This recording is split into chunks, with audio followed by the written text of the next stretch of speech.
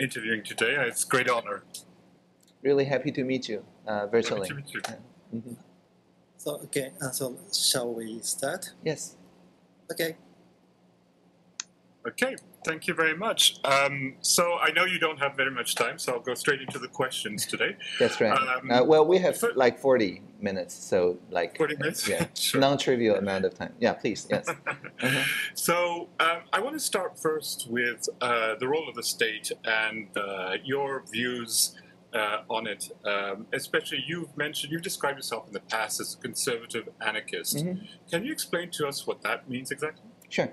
So um, to be a conservative is to honor the traditions, to make sure that we do not sacrifice. For example, in Taiwan, there's more than 20 national languages, each with its own indigenous uh, or immigrant culture, right? So uh, in the name of progress, we uh, very quickly see that people with kind of solutionism uh, uh, mentality uh, make progress on one axis while sacrificing the other cultures. And so the conservative part means that for the society to agree on a common value is more important than making progress, quote unquote, and sacrificing traditional values held dear by those like more than 20 um, cultures. Is the transcultural uh, point of view. Uh, the anarchism part, of course, means that we need to go about this change uh, without coercive action. That is to say, without making um, other people obey just simply because uh, you know you monopolize violence or things like that, but rather uh, making sure that people, given the common value that we form by this transcultural view on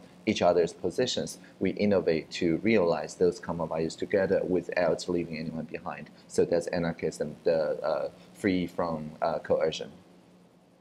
So, in, in this anarchistic world, what's the role of uh, leadership then, especially in a participatory uh, society like you? Yeah, it's to, to maximize self-organization, obviously.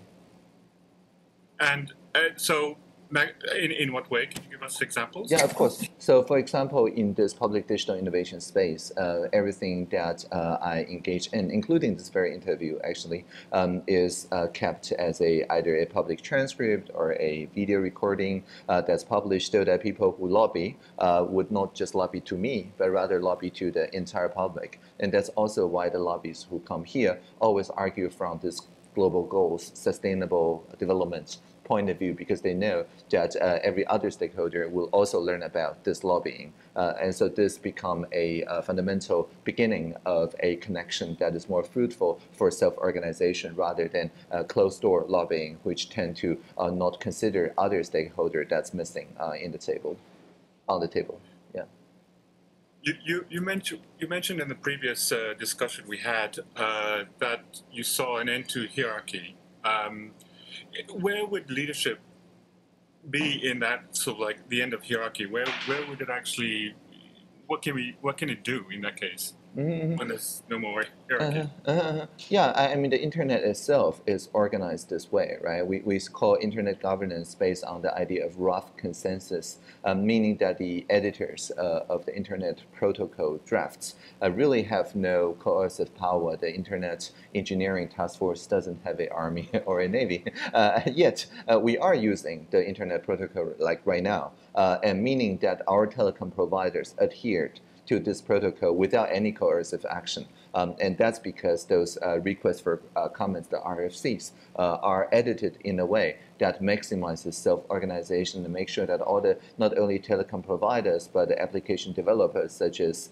uh, well, we're using WebEx meetings, uh, and so pretty much actually maybe the router is also manufactured by Cisco, and and so on. But but we do not actually need to be monopolized if your router is not made by Cisco but rather by some other vendor, uh, or if I'm joining from uh, you know not the WebEx software but a browser, uh, and the browser is many um, people together uh, who maybe jointly develop this WebRTC, the real-time communication, so that whether you're using Firefox or Chrome uh, or the Microsoft Edge, oh, well, wait, that's the same as Chrome, but anyway, um, can work together in a way without you know one side forcing the other doing any particular thing. So obviously, we can do many fruitful things uh, without coercive action because the fact that we're video conferencing now is a testimony to the internet governance and uh, uh, web community.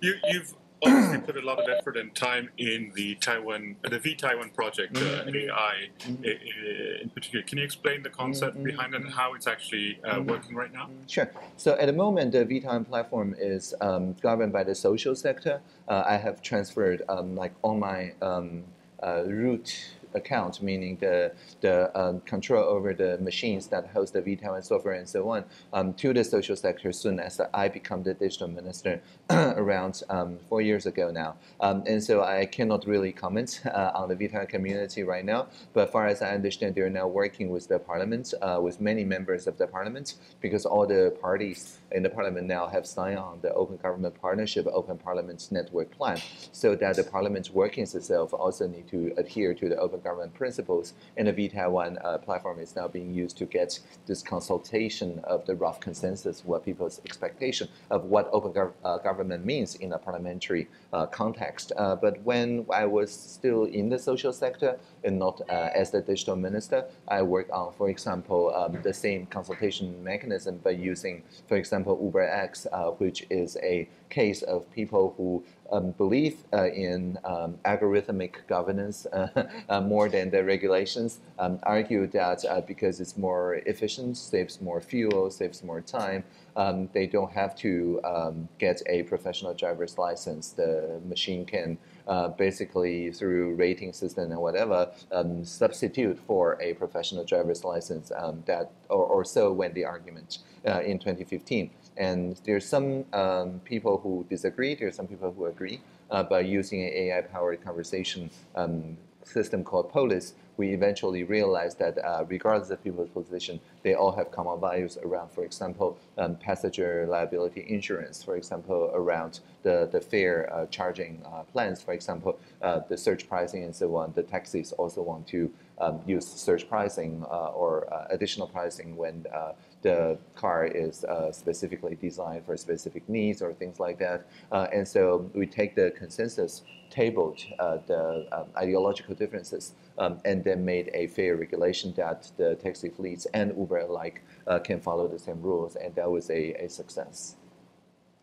Uh, so A- AI and the open society is, is what obviously one direction which uh, which Taiwan is, is heading towards. But uh, we're seeing around the world a lot of uh, nations look more inward. Mhm. Um, do, do you think that's a temporary trend, or Mhm. or is is that something you are concerned about?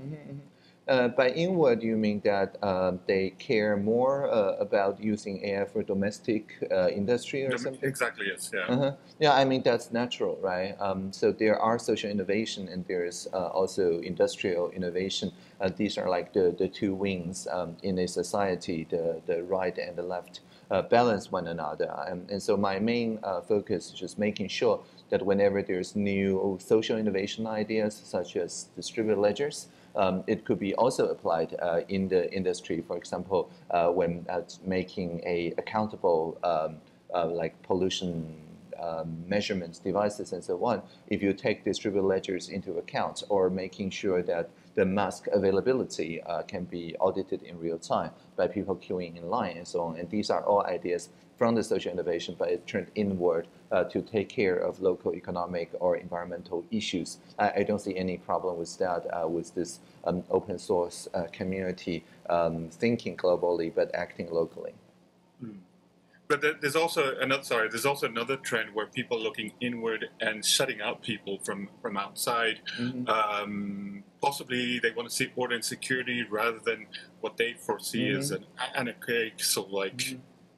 chaos. Mhm. Um, is that is that something you're seeing as Mhm. well uh, around? Is is that something you're concerned?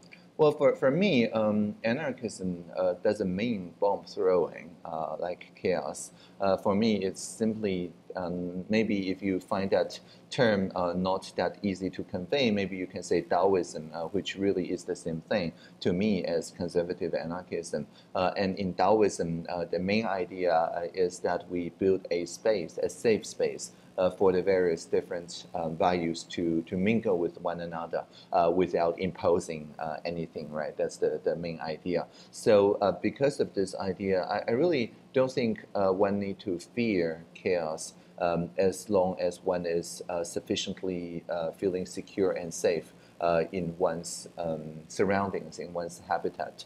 Now, if one is not safe in their own place, then of course one would be less welcome uh, to uh, other people, right? If I don't have a couch, I probably would not uh, participate in couch surfing communities because there's no room uh, in my in my place for people to to surf. Um, and I mean, this is a very simple like human nature in Taiwan. We we banned um, um, exporting of medical masks for quite a few months uh, before we ramped up the production from 2 million a day to more than 20 million medical masks a day. But once we um, uh, reach the sufficient production of masks, then we lifted out the ban and actually donated a lot of masks for humanitarian aid uh, worldwide. But it took us like two months or three uh, to ramp up that production. And before that, I think it's very natural to say uh, we, we don't have sufficient masks for our own use. So uh, sorry about that, but we have to ban export for a while. I, I, believe, and you've mentioned it before, that you know transparency is obviously a very a key pillar in your in, in anything you do as far as you know as far as what the government does anyway.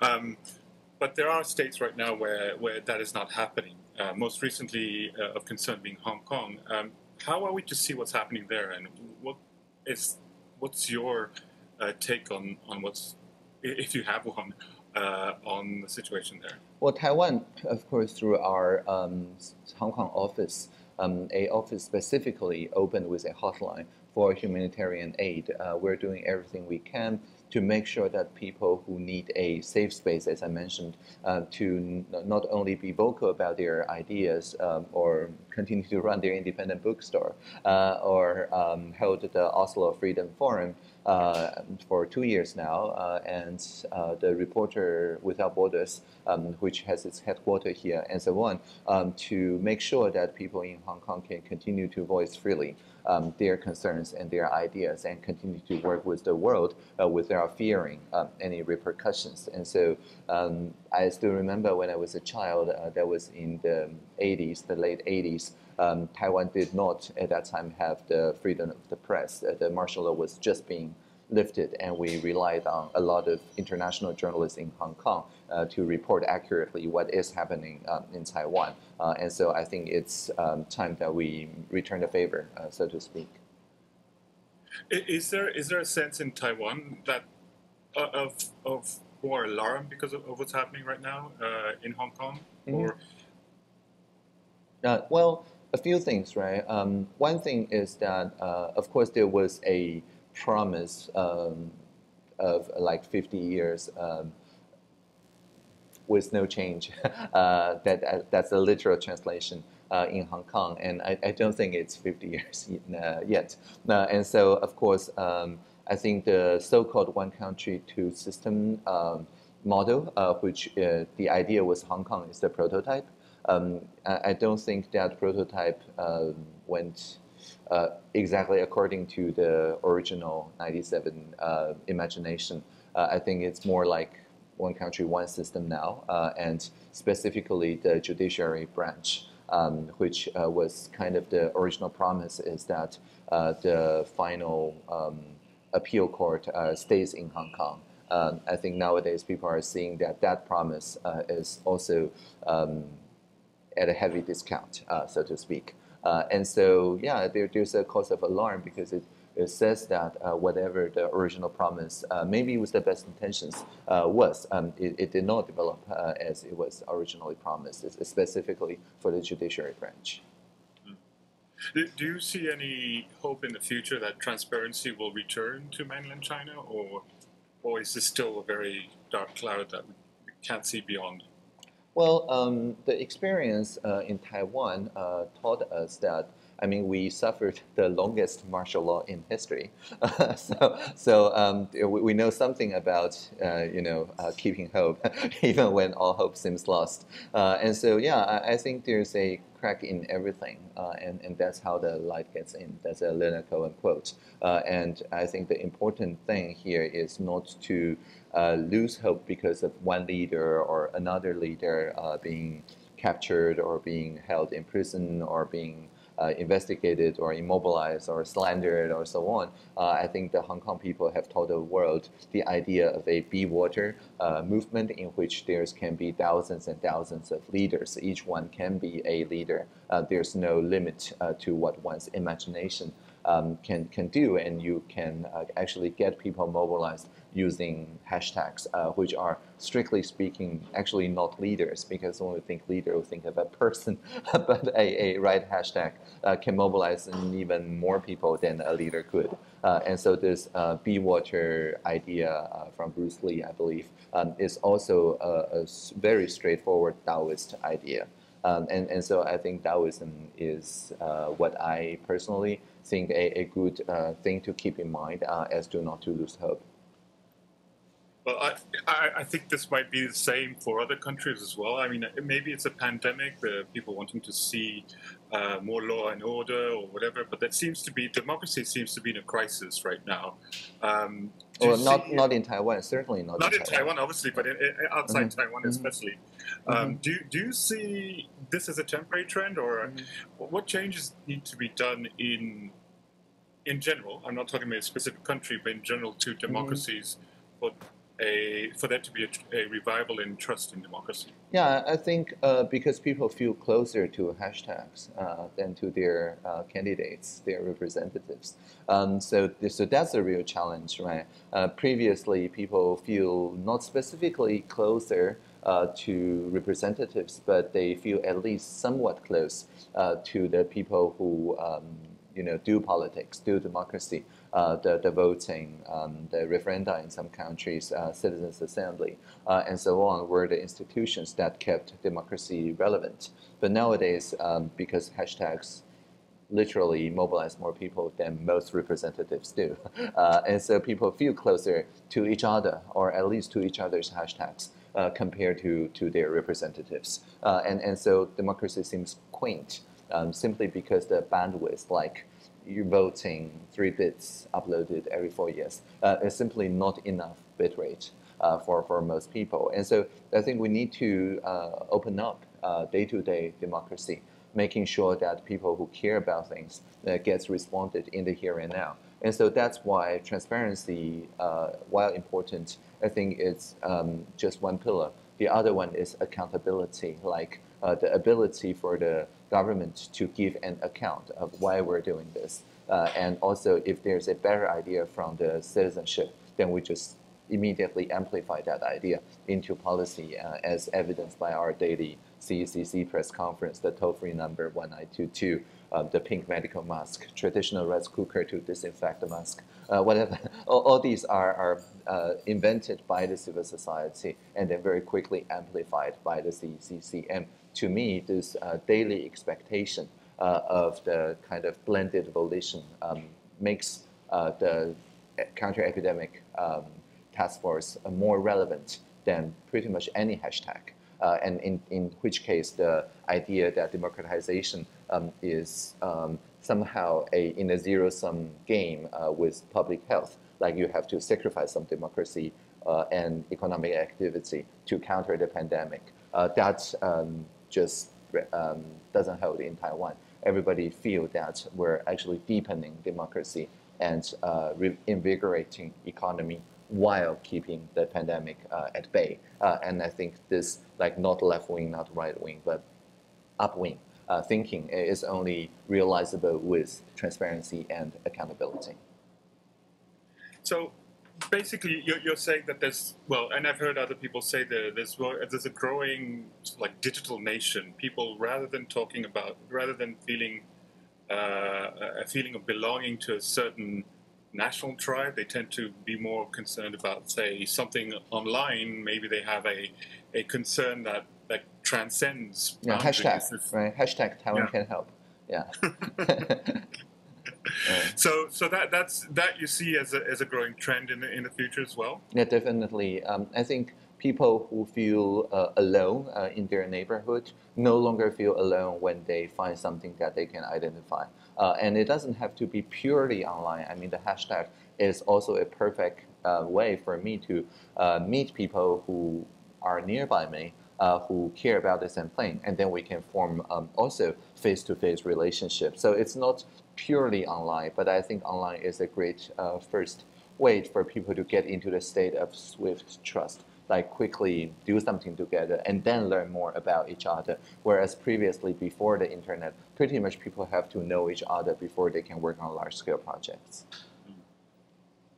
So, in a way, because of the internet, the, the world is getting smaller. Um, but at the same time, it's getting it feels more crowded. People tend to be close, uh, more div- not divided, but they everybody hears about everybody's opinions, and Mhm, it's mhm. it's easier for arguments to start because you hear their their un uncurated uh, opinions, uh, and it's creating. It seems to be creating a lot of you know polemic divide amongst people. How how how best to solve that polemic, polemic divide problem we're having right now?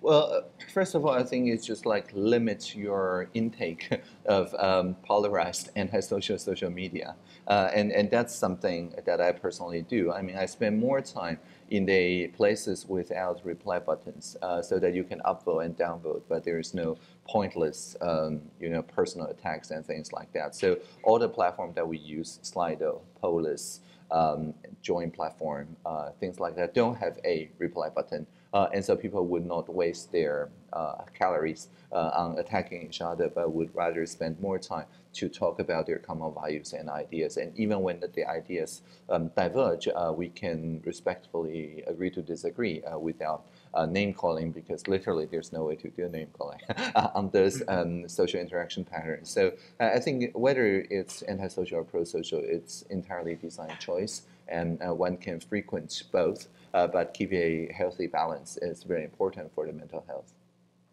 So do you need we need do you think we need a new social media like platform that has a different algorithm? Is that is that one that could that be one? Well, very very simple um, like functionality tweaks. Like uh, recently, Twitter uh, made sure that if you start a tweet and somebody reply doing a personal attack, uh, even though you don't want to respond to it, other people will, uh, and then the entire thread will be hijacked, so to speak. And Twitter introduced a very simple thing that says, you know, hide this reply from other people.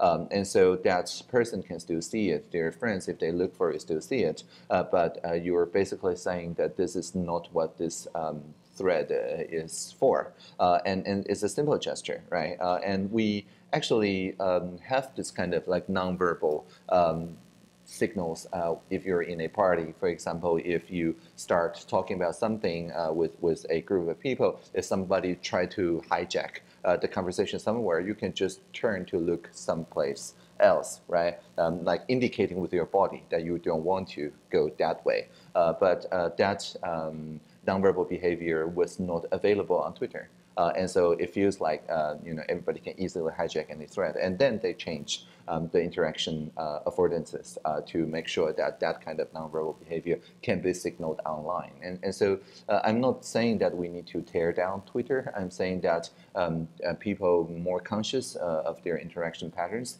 and the platform making necessary adjustments that will then make a less antisocial experience for everyone. This is very interesting. Um, I'd like to also turn now to sort of like inequalities in in in basically every nation. There, the, Mhm. We have inequalities, and and some people. I, I'm sure you're aware of uh, Thomas uh, uh, Piketty. His uh, his thesis about uh, long-term uh, growth of uh, inequalities. Um, first, first of all, obviously he he was mostly writing about 200 years of French history, but um, do, do you see that?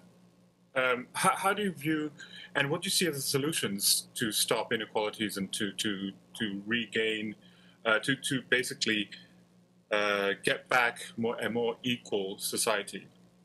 So, um, I, I, so is this like globally? Because in Taiwan, the Gini index has stayed the same, I think, at Mhm. least for the past 10 years. So uh, I don't know about globally. growing inequality. okay. Right. Um, I, I think globally, uh, there's two things, uh, two, two forces at play, right? One is that inequality was always there, uh, but nowadays with internet, inequality feels more real. Like you can very easily see very transparently uh, in the most um, suffering places. It, used to be that they're a distance away, and if you just you know don't tune to the radio or TV channels that covers uh, these places, then you can pretend it doesn't happen.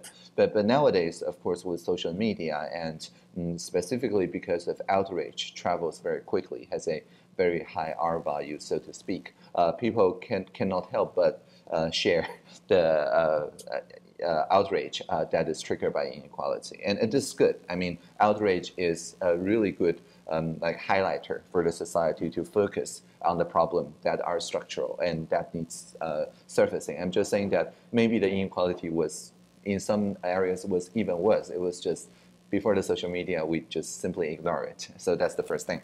Um, and the second thing is, okay, now that uh, people see that um, there are inequalities, sometimes structural, what, what to do. Uh, and uh, in this, uh, the social media sometimes makes people suddenly feel disempowered rather than in the discovery phase, which people feel empowered because everybody can contribute to fact finding.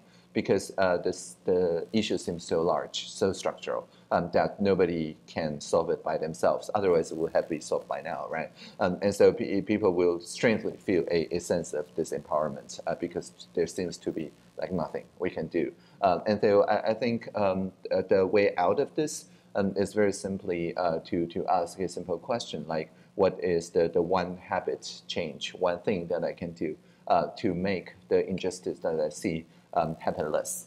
Uh, and, and so it's back to oneself, but making it a, a social uh, change. Uh, I would, for example, use the ice bucket challenge as an example. If you do the ice bucket challenge, like um, like spraying very cold water, uh, a, a bucket of ice on one's head with no filming and with no people nearby, like if you do this alone, it's entirely pointless, right? It, it doesn't work. it doesn't work at all.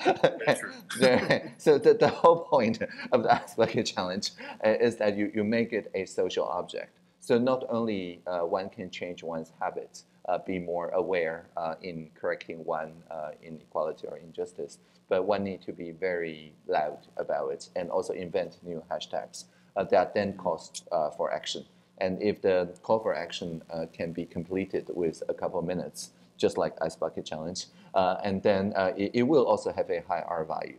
And, and then this time it travels on hope um, and even on solidarity. And solidarity and the joy that comes from the solidarity uh, actually travels even faster than outrage. I, I think it's the emotion that has consistently a higher R value than outrage. Uh, and so the outrage is the beginning, but the solidarity and joy uh, in participating uh, in behavior change together, uh, that's the, the um, outcome. And, I think that's the really the thing to do if one, one want to uh, systemically reduce inequality. Rather than doing this alone, one would then start movements. Mm. Do you have any examples uh, of that in Taiwan, for mm-hmm. example? I know I know mm-hmm. you've got a very diverse uh, mm-hmm. culture. You've mm-hmm. got obviously uh, the indigenous people. You've got uh, mm-hmm. islanders, and and mm-hmm. and I suppose I don't know the term in English. I think, but there's a Jap- but there's like people originally from the mainland as well. Um, mm-hmm. I'm sure it mm-hmm. was quite diverse mm-hmm. in the beginning. Um, how did you? Mm-hmm. And it probably still and it still is. Well, yeah, uh, with more than get, more than 20 national languages, in fact. Yes. So how, how do you get all these together, not to sort of like uh, to be become more equal, to listen to each other then? Yeah, I think this is uh, about uh, the transculturalism uh, idea that I mentioned. To be transcultural is to be open to other cultures' interpretation of your own original culture. Um, and I think that really is the key. Um, like in the indigenous nation of uh, Taiwan, um, the uh, leadership is doesn't really uh, work with any gender stereotype, right? So, so no matter which gender you are, um, you, you can be a leader. Uh, or in the Amis, uh, which is a, a matriarchy, uh, and, and so on. So, so there's many different social configurations coexisting um, in Taiwan. And so our LGBTIQ plus um, community don't need to look far. Uh, to other social configurations and models without getting trapped uh, into any specific culture, any specific um, vision. Uh, and so I think that really inspires people to make sure that uh, people do not get uh, whatever uh, their first culture does not limit their imagination uh, of what the society can be. Uh, so that's, I think, the, the important thing. And the other important thing that you asked about whether you know people with very different background, why do they not, um, and I paraphrase, um, just um, attack each other, right? Uh, I think uh, it, it's important to, to note that uh, no matter where uh, we are in Taiwan, we're actually physically quite close, even though it's 23 million people. From the northmost to the southmost by high-speed rails, it's just one hour and a half. So um, even though it's very high density, um, geologically, it feels like a larger municipality. And, and this is important because then people feel that we're in the same polity together. There is no simple us versus them if us and them is just one hour and a half apart. Um, and, and that also helps. And so uh, why broadband is a human right is so important. It's just to connect the most rural, the most remote indigenous um, places uh, together so that people can feel that we are in the same island uh, nevertheless.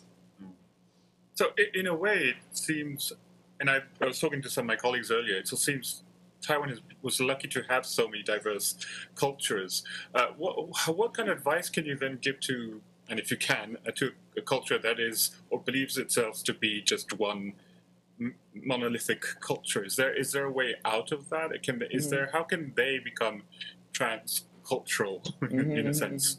Yeah, um, I, I, think a, a few things. Um, like in Taiwan, um, when we did marriage equality, many other nearby, um, like East Asian uh, cultures, said that.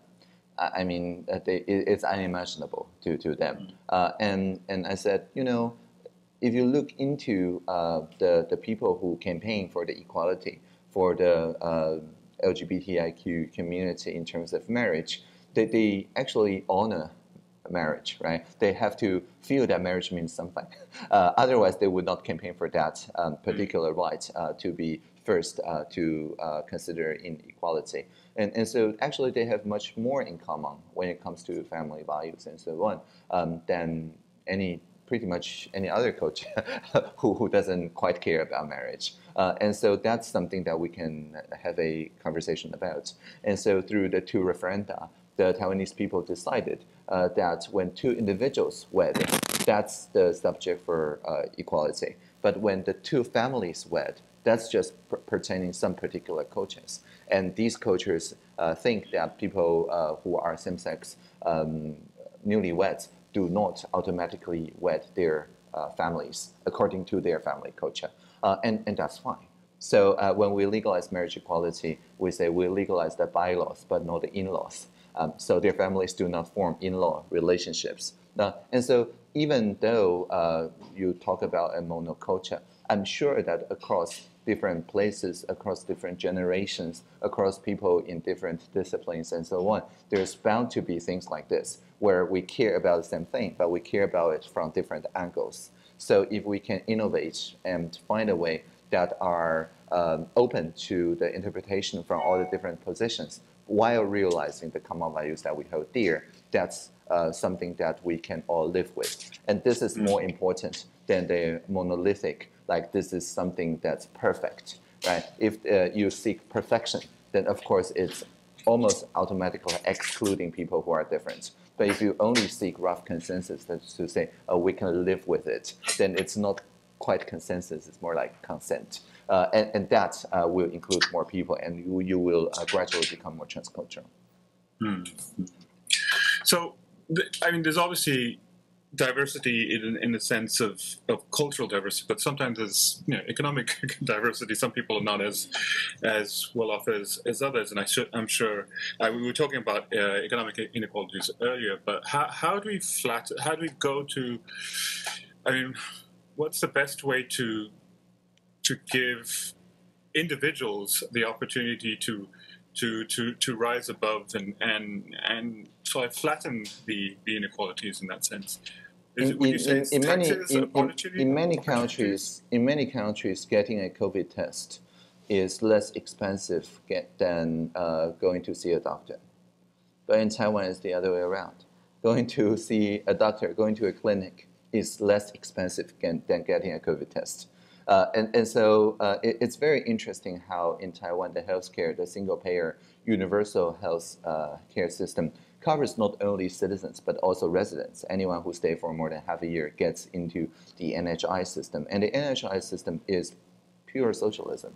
Like um, people don't have to worry uh, about getting sick, um, and and this is very important because then it enabled when we encounter the pandemic people to feel that there's a safety net there, and they would suffer neither financial nor social pressure if they develop COVID-like symptoms. And so they would just collect a mask using their NHI card and go to a nearby clinic. And in that way, we make sure that people all participate uh, in the uh, public health uh, as a responsible citizens. Uh, and, and this uh, single payer system, um, the kind of pinnacle of socialism uh, in Taiwan, it's just seen as something that's at us every day. That's something that people um, are very acquainted with in the past 15 years or more.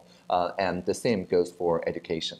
Uh, and uh, K to 12 education all the way um, is um, like uh, free of charge.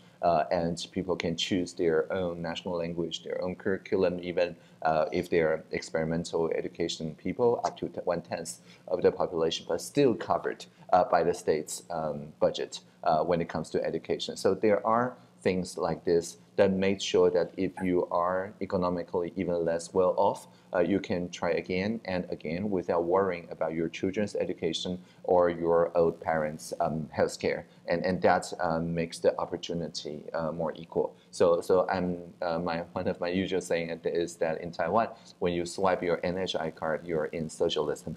and when you swipe your credit card, you're in capitalism. And both systems coexist in Taiwan. It's a social democracy. What do you think of the, the basic income or the universal income uh, mm-hmm. idea? I mean, I know that there have been some uh, tests in, I believe it was in Finland um, and mm-hmm. other places, but mm-hmm. and they've not been very conclusive. But it, do, do you have a position on that? Mm-hmm. Well, um, the thing is that in, in the Social Innovation Lab, which is here, uh, we held many uh, UBI uh, conversations uh, one of the UBI uh, Taiwan's, I think, uh, core member uh, was a staff here in the Social Innovation Lab. So in the spirit of social innovation, of course, we run like international conferences on UBI and things like that. The, the thing with Taiwan, though, is that UBI tend to uh, get political support uh, when there's a pressing problem that cannot be solved any other way in the country. So whether it's like rampant uh, mass unemployment, uh, or whether it's structural, huge, growing inequality, or pretty much anything else, then UBI would be lauded as one of the possible solutions. The, the thing is that Taiwan has no pressing problem like that. Uh, and so UBI remains a, a, really good idea. There's board games, there's people who spread that idea, advocates, researchers who uh, help on the economic models, but we mostly uh, work with other jurisdictions, other economies outside Taiwan who are more pressing in introducing UBI to gauge its efficacy. So we're happy to contribute our research capability. This is similar to, uh, I guess, COVID management because we're, we're less uh, pressed uh, for uh, the, the treatment in our uh, research and development in the medicine uh, sector. We have more capacity to share with the world.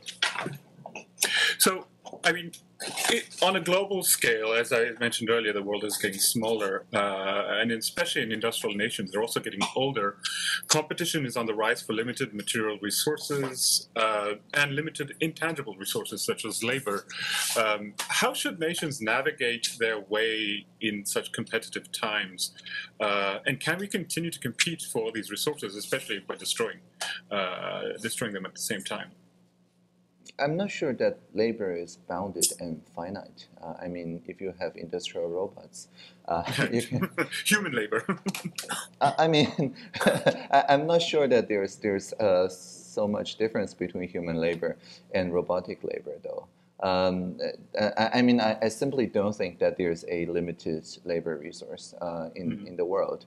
Uh, most human labor, if it's repetitive and it can be uh, described in simple structures, uh, could be automated and is now being automated actually um, uh, across the board. Uh, and so um, automation, I think, shows us that even for um, resources that we consider scarce, um, like the GPT-3 model can now uh, complete a, a theor- theatrical play. If you give them uh, the first scene and a few um, stanza, then it completes the rest, right? Um, and, and so even cognitive resources uh, like um, the, the one that I just mentioned uh, can now uh, be helped by assistive uh, automation. Um, and so I, I, really don't think uh, either in cognitive labor or in physical labor there is only uh, bounded resources. That's not uh, what I'm seeing. Um, so in, in, that case, is there is there? I think that a lot of people are worried that AI robotics will replace human labor as well. why, why, why is that a bad thing again? It's not necessarily a bad thing, but. I think mm-hmm. people are worried about it. Um, I think because their skills uh, are probably not going to be updated fast mm-hmm. as fast as a robot. Mm-hmm. Um, but what, what's well, then you can sit back and relax. What skills do you think are, are mm-hmm. necessary? Well, uh, I mean, you can sit back and relax, right? Uh, or, or, you can go hike a mountain. There's a lot of beautiful mountains in Taiwan. Uh, and, and even I know some robots that can hike a mountain very quickly, much better than I do. I would not dispatch them to hike a mountain, take a photo, and go back to me because what matters in hiking is the enjoyment uh, of the of the the flow, right? The flow of the, the hiking trail. And of course, we will not automate that because that would defeat the purpose of uh, interaction and enjoyment and creating uh, a common good, right? Um, but if it's just about you know getting to the top of the mountain to make sure that um, I don't know the telecom station, uh, the 5G tower is still operating, then of course I'll fly a drone there because I'm not enjoying the climbing um, experience. I'm just wanting to get something repaired, and so uh, I think it all depends on our values. If uh, we value as I mentioned, uh, autonomy, interaction, and the common good, uh, then all the AIs are just assistive intelligence. They need to be value aligned to us and be accountable. But if we uh, over identify with particular skill sets, then of course there is cause to worry. But I don't identify with any skill set, so I, I don't worry. Well, what do you tell young the younger generation? Uh, what what kind of well, skill sets or mm-hmm. what, what they should know and mm-hmm. how they should basically face the future. What, what's your message to them? Mm-hmm. Yeah, I think it's just, just lifelong learning, right? Keep learning um, and uh, making sure that there is uh, that a support network uh, of people who learn together, uh, who create together, uh, and the mindset is uh, to me much more than any skill set. Mm. Well, what, so, and how do then how do you get older people who probably are less, uh, some, not always, but some of them are less flexible about it? How do, how do you get them to change their, their mindsets then, then, kind of then you still learn, but but slightly slower, right? Isn't? I mean, everyone learns their, at their own pace. Um, I, am I'm, I'm not saying that everybody have to learn equally quickly. I'm saying that learning at one's own pace. Uh, I mean, it's the same as hiking, right? It's not a competition. The, the point is to, um, to enjoy the journey. Uh, and if you do enjoy the journey, um, then actually racing to the top in the case of hiking may not actually be, be the best choice because uh, one would exhaust oneself. Uh, and so the, the point is that be realistic um, in what one can realistically learn in one's lifetime, uh, contribute what you have learned uh, as much as possible. Uh, and if there's something that's just not um, your cup of tea, then, then maybe some other person can learn it and you can work together. That's collaboration. Are, are, there any particular things we need to learn for the future, or is this just everything, anything in general? Uh, it's yeah, it's just I, the, I think, the, the yeah, mentality to learn. Yeah, the mentality to keep keep learning because um, it used to be that there's uh, like standardized answers. But with each innovation, the standardized answers don't work anymore. you have to mm-hmm. uh, work with a, a, different reality. And so I think just clearing one's cache, right, in, in one's brain, uh, in one's mind, uh, is important because the reality is constantly being updated. And I mean, it's always like that uh, since the beginning of time, uh, of human history at least. But I think in recent um, years, uh, what used to be like uh, standardized answers in the industrial area, which is uh, actually a very short time span in the human civilization, um, is now being challenged so that we have to go back uh, to pre-industrial times to be essentially um, just lifelong learners instead of a specialized skilled person uh, that need to fit like a cog in a machine. I, I mean, all these metaphor um, is not even 500 years old. Mm-hmm. I, am sorry, I forgot one question. Uh, we, we, we briefly uh, talked about earlier the uh, economic, you know, economic inequalities, and obviously uh, every country is different, and you probably are not that uh, aware of the latest in, in say, Japan. Uh, but are there any lessons in Taiwan's or commonalities in Taiwan's you know how they dealt or how they're dealing with the economic inequalities that could be a lesson for Japan? Yeah, I think we agree uh, with Japan that the uh, like longevity uh, of human beings is not a drawback, but rather a uh, cognitive resource um, to the entire society. Uh, the fact that there are many people who uh, past the traditional retire age still very much willing to contribute to the society uh, if we uh, do the universal design well. Uh, I think it's a golden opportunity in Taiwan. They're called the, the golden age, the golden era. so literally a golden uh, opportunity. and so intergenerational solidarity is very important. and there's also a strong um, idea in, in Japan that AI is there to assist uh, the people who are closest to the pain, who are suffering, um, and uh, the like universal access uh, to those um, help uh, is necessary not only in the largest municipality but also in the most rural places. I see uh, Japan's Society 5.0 uh, plan. I think we're very much value aligned on this particular regard. Mm. Um, obviously, an older generation is is a generation that needs to be more uh, still be working and active, and especially, I think in Japan they talk about uh, now life being um, up to hundred or maybe even right. further than that. Mm-hmm. So, uh, you know, retiring at sixty five no longer seems mm-hmm. um, very logical. I well, I retired when I was 33, so anyway, well. I, am no place to comment. Have you really retired though? yeah, I, I work uh, just for fun then, uh, and and also uh, for public benefits. The the main thing is that I uh, would then associate only with like voluntary associations, the social sector, so to speak. Uh, and I think um, that's a trend, right? For people who uh, start a new enterprise uh, after they retire, they often choose a association, a co-op, a not-for-profit organization, and because uh, they already played that game, particular linear economy game, went pretty good at it, and so they cease to feel uh, satisfaction when it's just about linear competition. And so uh, they work on, I guess, wisdom, not just intelligence, uh, when it comes to uh, the economic um, interactions. And I, I, mean, if people retire at 65 and live all the way to 100 or so, um, there's still plenty of time, like 30 years of time, to work on a more wise uh, interaction uh, in terms of organization obviously, if we live that long, we have to be healthy as well. We just that's that's yeah, the course. other problem, isn't of course. it? Yeah, yeah, but but that's also something AI can help, right? Yeah. um, so basically, how how do we? You know, you talked earlier about bilingualism in in Taiwan, mm-hmm. uh, yes. Taiwan 2030 yes. uh, bilingual country project.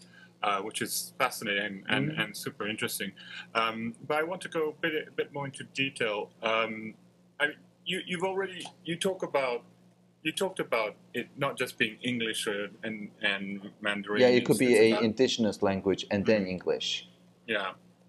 So how, how do you make that work for countries that have only one uh, one language, for example? Or technically have only one language? I mean, would it just be English? I mean, like, yeah. Well, it could, it could be English and JavaScript, right? JavaScript. Uh, no, I, I, mean, this is uh, too general a question. Each country, of course, have, have, a very different configuration. But the point here is uh, just to make sure that one is open. Uh, to mm-hmm. international mm-hmm. collaboration and exchange. That's the most important thing. And JavaScript, of course, is also a popular uh, language when it comes to international mm. exchange.